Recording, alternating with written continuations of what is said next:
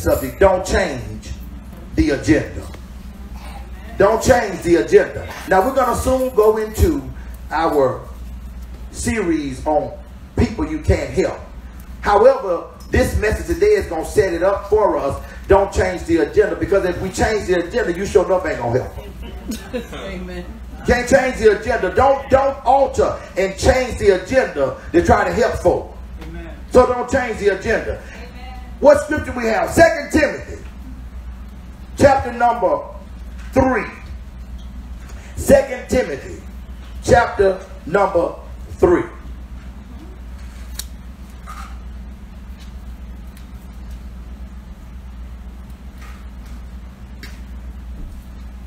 Paul said to Timothy in verse number one, he said, This know also that in the last days perilous times shall come. Difficult times. I'm reading from King James Version. Perilous times mean difficult times.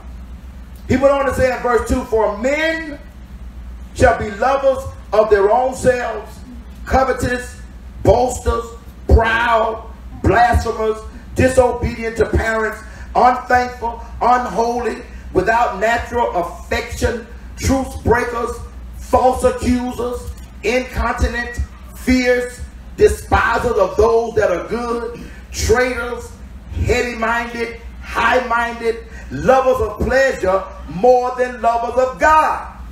Verse 5 says, having a form of godliness, but denying the power thereof.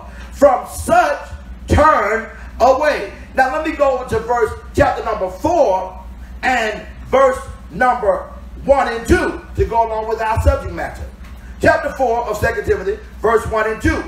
Now because of all of that, Watch what Paul further says to Timothy now. Since you know all this going to happen in the last days, he says in verse 1, I charge thee therefore before God and the Lord Jesus Christ, who shall judge the quick and the dead and his appearing and his kingdom. Watch this. Preach the word. Amen. Preach the word.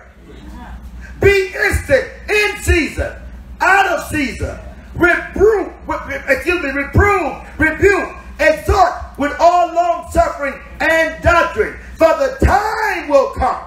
Uh-oh. There's a time coming. For the time will come when what will happen? When they will not endure sound doctrine. Uh-oh. But after their own lusts, they shall heap to themselves teachers having itching ears. Now I'm to stop right there because you can read all the rest of this in your own timing. But let me just help you with this. Here's where we're going today. Don't change the agenda because chapter 4 and verse 2 say, preach the word. Preach the word. Let me tell you, a lot of things are happening in our society today because folk are changing the agenda. First, we got to get an understanding what is the purpose of the agenda. The agenda, the purpose is, an agenda is a plan. It's an outline. If any of you ever been in meetings and they have an agenda, the agenda tells the plan. The agenda tells the outline of what's going to happen and the way to objectively make sure it happens. You need the agenda. Can I help you with this today? It's not a long message, but it's one to help us all out. Don't change the agenda. God's word is the agenda. You cannot help nobody, including yourself, if you're going to change the agenda. You can't change and say, well, I know what God's word says, but you can't change it and say, well, I know God's word want me to do this, but right now I just don't feel like it. Don't change the agenda. Now I want to tell you this, and again, it's not long, but we got to get some understanding here today. There's a lot of changing going on. We can see it from mega ministries to local ministries. We can see it from high to low and all in between that there's changing going on. We done, we done went from walk with me, Lord, to walk it out, walk it out, walk it out, walk it out. See, see somebody's changing the agenda. I ain't gonna get no help right now. But we got to understand that a lot of what we're seeing happening, we're getting the results because folk are changing the agenda. Paul told Timothy, what you've got to do is don't change the agenda. In other words, don't change the word. Let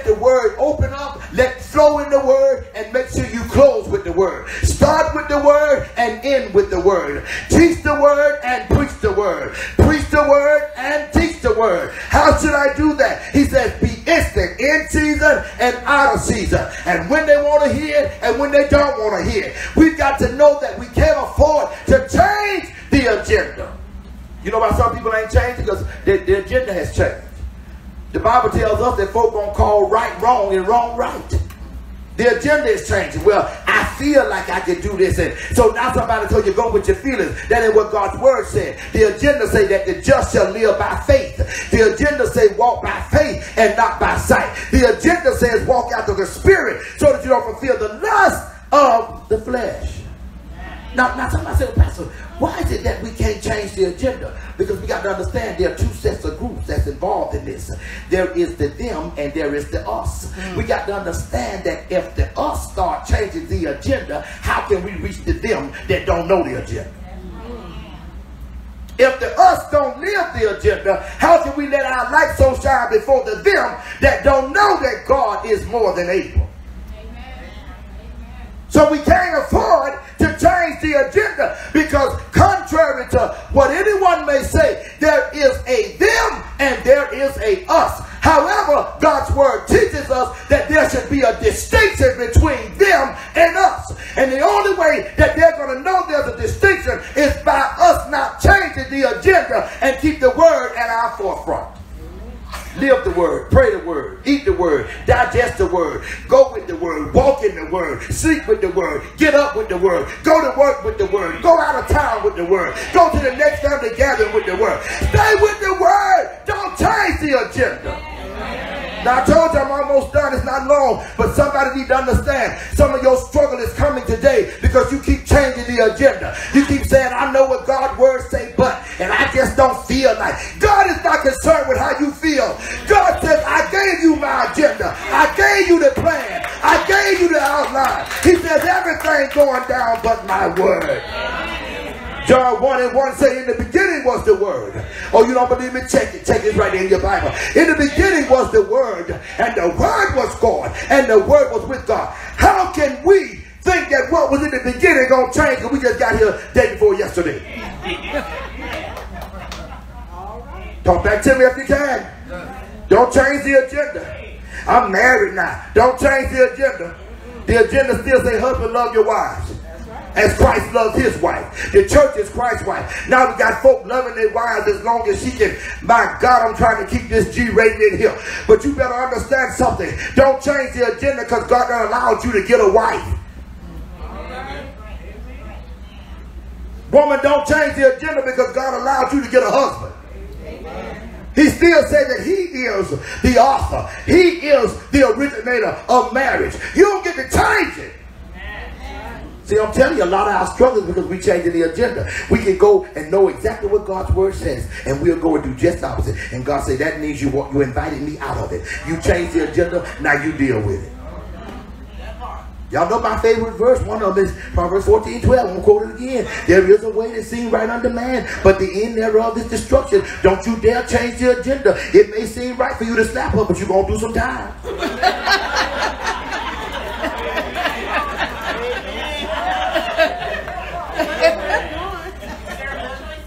Yeah, and I ain't talking about turn no other cheek neither. Because let me just straight something out. Jesus don't want us to be about a doormat.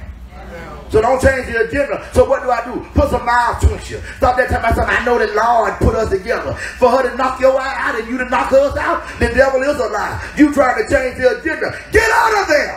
Amen. Amen. I ain't going to get much help now. See, that's why we get results that we're getting. Because folk are changing the agenda. The Bible says if, if it appears evil, shun it. You can't change people. Stop letting people change you. I'm just going to stay in it anyhow. I've been in it this long. But watch this. We're going to have some slow walking and slow singing. Just keep staying in it instead of going with the agenda. Don't change the agenda. Now I know I get some pushback. So since I'm out there, let me just step on out there. But now, Pastor, are you are you advocating divorce and telling people to, to, to get a divorce? Let me just tell you something. Some folk were divorced before they got married. Because anytime die, D-I, that means two. You got two visions, two bank accounts, two houses, two cars, two this. Everything already divided anyhow. Where is the coming together? See, when you change the agenda, don't look for God to be. That's why Paul warned Timothy. He said, because the time gonna come. Can I help us? When folk don't endure sound doctrine. We live there right now. We in some troublesome times. It appears that don't nobody want to hear what God has to say. From the White House to the doghouse and all houses in between. Nobody want to hear what God says. Everybody got their own agenda. He said, but Timothy, I'm warning you, don't you change the agenda. You stay with the word. Because there are perilous times, last days. They're here. We got folk can't even eat. Don't have places to stay. I think it was on the news this morning. I heard well, one bedroom apartment right here in mid Florida is sixteen hundred dollars. Yeah. One bedroom. Thank God some of us got three and four bedroom houses and didn't pay no sixteen hundred dollars a month for no more. But rent is sixteen hundred dollars. You think you can afford to change the agenda? They changed it for you on that side already. That's why somebody better try to stick with the law. Because the law say, I supply, I'll take care of you, I'll see you through. But you can't change. The agenda, all of you that have retired, tell God thank you. Because they done changed the agenda on these jobs. Oh, you see all of them retirees with the hollering social media. That's them y'all here now. You don't hear nobody under 60 saying nothing. we just still trying to make it. But you see, it's changed. And Paul said to them, don't change the agenda. Hebrews 13 and verse 8 says, Jesus the same yesterday, today, and forevermore. Don't change the agenda. He said, because I didn't change. I'm the same. I was saving people by the blood of me yesterday. I saved you by the blood today, and I'm saving by the blood tomorrow. I died on yesterday. I'm dying today. I die tomorrow. I'm the same. I rose again. I'm on the right hand of the Father. I don't change, so we cannot afford to change the agenda. Let me take these glasses off one more time as we get ready to pull this train in, and let me help you all understand something. I said it in Sunday school, and going to say it again right now. If you in a place where they they are not giving you the word of God, where you're not getting God's agenda, God's outline, God's plan, run, Forrest, run. Get out of there. You cannot afford to stay in a place where folk ain't teaching the sound doctrine of God's word. Because if you're there and they're not teaching properly, how do you know when they're telling a lie? You don't know. That's why, amen, I heard it. That's why you got to take time and study God's word. Don't just keep coming in here with your Bible clutched up under your arm. God ain't impressed. You got to unclutch it and open it up. And say, Holy Ghost, who is the teacher? Teach me. Because I don't want to change the agenda. Now somebody say, well, why is it that you're so uh, putting emphasis on don't change the agenda? Let me tell you why. And here's how the train gonna come in. Let's go over to Psalm 119. Because see, we need to understand the importance of the Word of God. God's Word is so valuable and important. Do you know what Jesus told us? Jesus said, don't cast pearl before swine. I'm going to deal with that and the people you can't help. See, sometimes you cast in pearl before swine because when a person has a swine mentality, you know a hog don't care about nothing. Mm-hmm. A hog is a dirty, nasty. Ain't nobody gonna talk that to me but some of us country folk who know how dirty a hog is. Some of y'all done went online and pulled up. But I'm gonna talk to us who saw the hog eat his own. I saw the hog eat his own. Y'all ain't saying nothing. Y'all ain't saying nothing in here. I mean, eat it good. Eat it all up. Eat it slow. Eat it fast. Eat it all. That no more. I saw the hog. Jesus don't cast pearls before swine because swine don't value. Don't, the word of God should be like pearls to us. It's just that valuable. That's why we should change it. That's why we should always know that if you're going to help some folk and if you see they got a swine mentality, I'm just jumping over in next week for a moment to get y'all to come back next week and hear all of it. If you see they got a swine mentality, don't keep giving God's word to them. Give them up to the Lord and keep them in your prayers, but you got to stay with God's word. Don't change it. Well, that's my wife. Don't change it. Those are my children. Don't change it. That's my coworker. Don't change it. That's my pastor. Don't change it. If your pastor ain't giving you the word, don't change the agenda. Give him a note. Slip him a word. And, or him or whoever, him or her, slip him a word. And say, is that what the Bible says? Let me say something. This may sound comical to some of us, but hear me clearly. When you go to the book of Jude, the Sunday school lesson this morning dealt with this. The Bible says we got to contend for the faith. We got to fight for the faith. This is why you shouldn't change the agenda. Because Jude talks about body snatchers. People coming in, false teachers, false prophets, and they're saying things to get you off focus from the agenda, to get you not to go with the outline that God has put in place before you even got in line.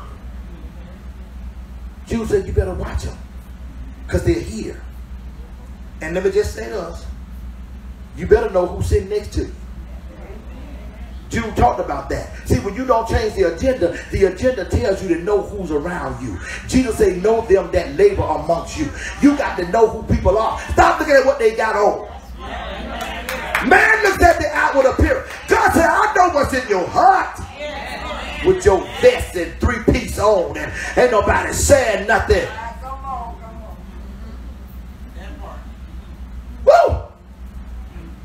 Why can't we change the agenda? Y'all should be at Psalm 119 by now. All right? Let's read all there.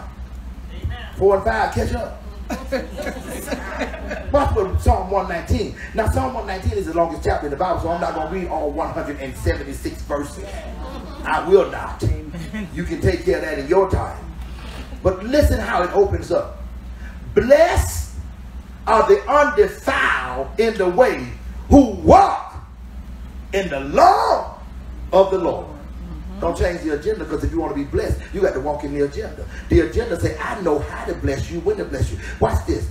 Blessed means you've been empowered to prosper. We're not just talking uh, financially, to prosper in your walk with the Lord, in your growth with the Lord. Don't change the agenda. He says, blessed are the undefiled in the way who walk in the law of the Lord. The word law is indicative of the word. We got to stay with the word.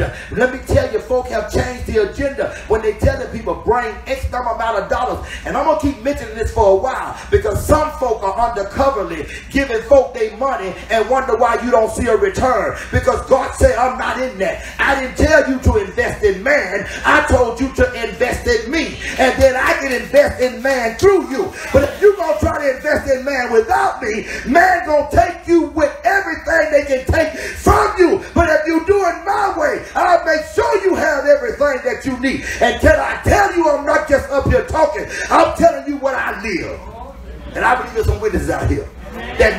same thing. You just keep doing it God's way. It don't matter. God say, I bless you. I will fix it where you will prosper. You will grow up in me and you will stop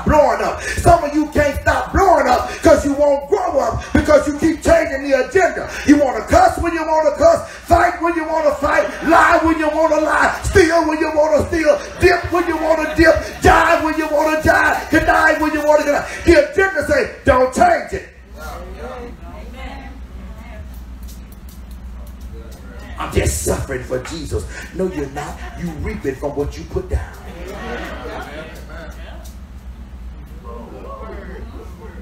Don't change it.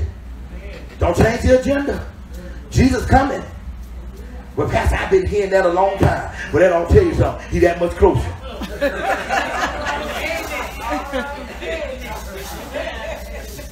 Watch what it says in verse number two. Blessed are they that keep his testimonies and that seek with the, oh my God, him with your whole heart. Amen. Let me tell you something. We're in an hour now where you got to seek the Lord with your whole heart. You got to seek him with your whole heart. Don't just come in here on Sunday. I'm not trying to tell you don't come to service. Come to church. Come to church. Come, please, come. Thank you, social media, for being out there. Get online. Get online. But when you get offline, you better make sure you're still in line. Seek it with your whole heart. Now, I'm about to step somewhere and get in trouble, but it'll be all right because some of the prayer warriors going to keep praying with me in public. Let me tell you, some of y'all are investing more time in social media than you are in God's word. And God said, I'm a jealous God. See, some of you don't even know you've made social media.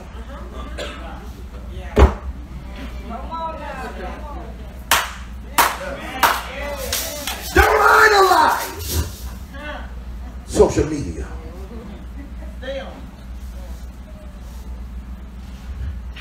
Boy, look here. I, I, thank you for a few y'all going to keep supporting this word.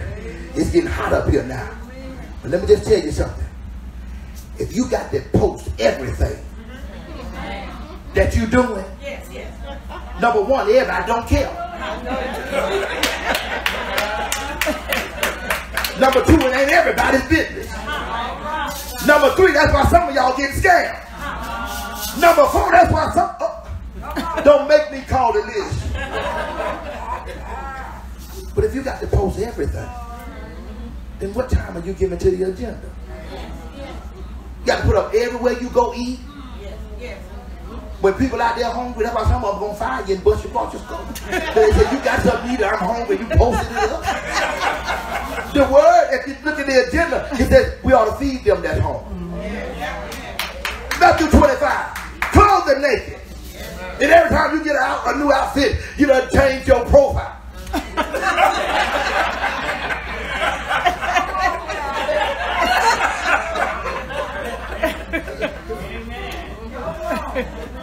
The agenda didn't tell us that. I'm not against social media. I'm against being so social though, till you ain't got no time to be social with the word. Don't change it. But it's the it's where we live now. Wait a minute. The word was in the beginning, social media wasn't. No, that's right. So where do we really live? If you can't live in God's word with social media, something wrong. Uh-oh. Let me leave that alone. I, I don't say too much more about that. see, because see, somebody take that and try to run the wrong way with it. Pastor saying we should be on social media. That's not what I said. I said don't change the agenda. Mm-hmm. Don't let social media become your idol. Right, right, right. Some of y'all need to be on social media because you won't watch the news. so you know the bank gonna close. social media tell all of it. You won't know what's really going on now. Sometimes you find out. Get on social media. They'll tell you who the crook is, how much he stole. Social media tell you who going through divorce and what they got to pay. News ain't gonna tell y'all that because some of them on the news is the ones going through the divorce. They don't want you to know. Bless! Y'all stop that. I ain't gonna fool y'all. Verse 3 says, Psalm 119, they also do no iniquity. They walk in his ways. Now, iniquity means that they don't plan and practice sinning, but they walk in his ways. See, that's why we can't change the agenda. Because the agenda gonna help us to walk in the Lord ways and not be wicked and evil and trying to do some things like others are doing. The word of God says, stay with my word. Don't change the agenda. Listen. Okay. All right. I'm gonna close it up. Thank you. Holy Spirit, listen. Don't change the agenda, church. We in, we in, we in some rough waters. We got not just spiritual. I know there's a war in the spirit going on, but there's a cultural war. There's an economical war. There's an educational war. There's a political war. And there are other wars that are going on. This is why we cannot afford to change the agenda. We got to stay with God's word. Paul told Timothy, do you see what's happening? And can I help us with this? And watch this. And y'all get ready to come on and, and, and, and get up out of here. Listen, listen. Do you know how many people are calling in folk now who are saying what they want to hear and not what they need to hear? Paul told Timothy the time gonna come when they have itching ears. Itching ears mean they want to hear some things, but they don't want to hear the right thing. Itching ears mean they want to hear what they want to hear and not what they need to hear. And if you won't tell them what they want, they'll call in, they'll reach all across you and get somebody who will come in and say what they want to hear. That's your end. That is not right. That's why he said, you stay with the word. So what is the Lord saying for us in the 21st century church? Stay with the word. Don't change the agenda. Because when you change it, it's dangerous. When you change, it it can be detrimental. Now, Pastor, how do you know that? Because everything has an origin. Let me help you. When you change what the Lord says, mm. it can be detrimental. Mm-hmm. In the third chapter of Genesis, mm-hmm. the Lord had told Adam in the second chapter what to do, what not to do, what to touch, what not to touch. But in the third chapter, there came one who was more cunning and subtle, more crafty. Here come the serpent, slithered his way up to Eve and began to talk. Now, the Lord God gave Adam those directives and instructions before he brought Eve. Right. Right. Amen. Something happened in chapter 3 because when the enemy slithered his way up to Eve and had full conversation with her, then she had conversation with the husband. The Bible says she ate and gave to her husband who was with her. And when the Lord showed up, he said, Adam, where are you? You know what the Lord was asking Adam? I know you changed the outline in my plan. Now I need you to tell me where you are. Not that he didn't know where he was geographically as well as spiritually. He says, Where are you in your thinking? You changed the agenda. Now, because you changed it. And watch what Adam did. Adam said, that woman you gave me. Mm. See, when you change God's word, you'll become so out of control until you'll try to interrogate God. Mm. Wow. Adam, that's what he did. He said, that woman you gave me. You know what I was out in the business, particularly if you hadn't brought him to. now, you know what he was doing? He was acting just like God didn't give him instructions before he brought the Lord, before he brought her to him. Mm, that's right. That's why, I, that's why I caution these people today. The Lord gave me my husband. The Lord gave me my wife. God is not a matchmaker. God gives you instructions. And you go with the instructions. But I do the plays. The Lord said, what you say? That woman you gave me. Watch this. See, when you change the agenda, it can be detrimental. You know what the Lord said? Let me surmise. He said, well, everybody to get it. That's right the serpent, the woman, and you. He said, as a matter of fact, at the close of my letting everybody know what they're going to get, he said, the two of y'all get out. Mm-hmm. Since you're going to change my agenda and change my outline, get out of my God. Mm-hmm. Now, what that ought to tell us? Psalm 24. Yo! I heard it echo. I heard it all. Watch this. You know, you know, everything has an origin. That, you thought you was the only one got evicted. That was the first eviction. The Lord God said, get out of here because I own this. See, that's why you ought to be careful change the agenda. Psalm 24 and 1 say the earth is the Lord's and the fullness thereof, the world and they that dwell therein. The Lord God say, I'm the landlord. You don't get to change nothing around here. But if you change it, you're going to get the consequences. It does not mean God don't love us. It does not mean we ain't saved. It means we change what God said. And God say, I'd be unjust if I did not let you deal with what you put a welcome mat out for. You changed my word. Huh? He said, now get out. You're out of here. He said, Adam, you're going to work by the sweat of your brow? Oh my God, and folk been working on the railroad all the live long day. Women are having pain in childbirth. All because hmm. somebody changed the agenda. But I'm so glad that the Lord didn't leave him with a cliffhanger. In Genesis, they spoke of Jesus, my Lord and my Savior, that's going to come, and he has come. And he bruised his heels, but he bruised the head of the enemy. He crushed him and took it out, took him down. And that's why we shouldn't change the agenda. Because John 10, 10 says the enemy come to steal, kill, and destroy. Jesus said, but I came mm. for you to have life and have more abundance. Don't change the agenda. Because when you change it, you're going to get something. And it's called consequences. So I want to encourage you today, don't change the agenda. We're going to move into people that you can't help. And the main reason you're not going to be able to help them is if you change the agenda, you can't help them because you change what's going to help them because it's the word that helps you. So why not let the word help them? And for this reason, we are Stay encouraged in the Lord. And don't change the agenda. Amen, amen, and amen.